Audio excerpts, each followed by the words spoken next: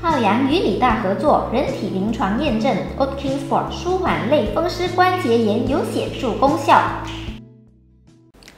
二零一九年四月二十六日星期五，欢迎收看光明新闻通。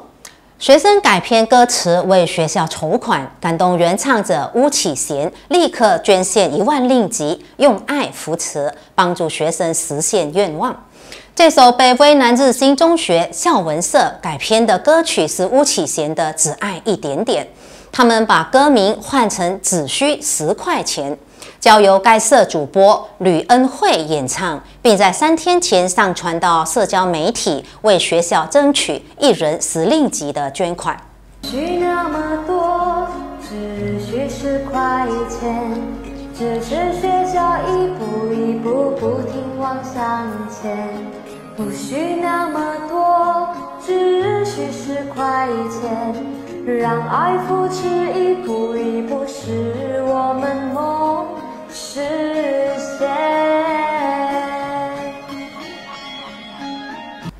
本报较后也将这个演唱视频挂上光明官方脸书，短短三小时之后就获得巫启贤的关注，并通过本报高级经理宣布捐出一万令吉给该校课外活动基金，希望能够起个带头作用，引起更多人关注危难日新的需求。校方表示，这个演唱的视频放上网之后，包括巫启贤的捐献，在三天内就筹到了三万令吉。来换个新闻，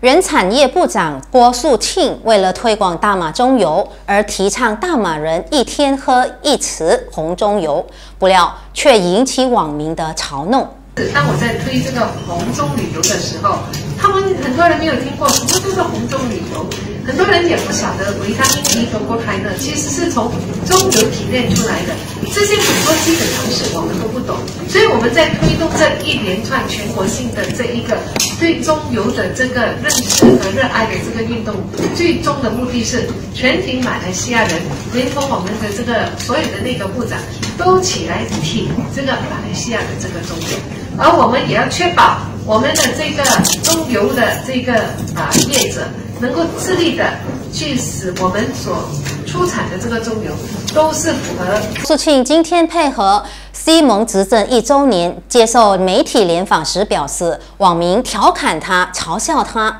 还把他的照片和恐怖娃娃某某放在一起，使用各种抹黑的手段。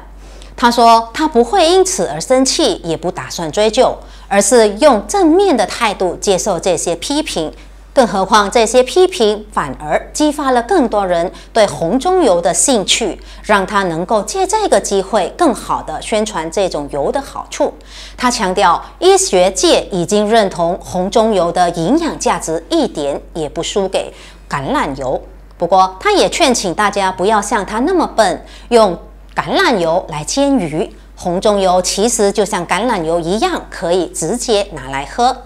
今天的新闻就播报到这里，感谢收看，再会。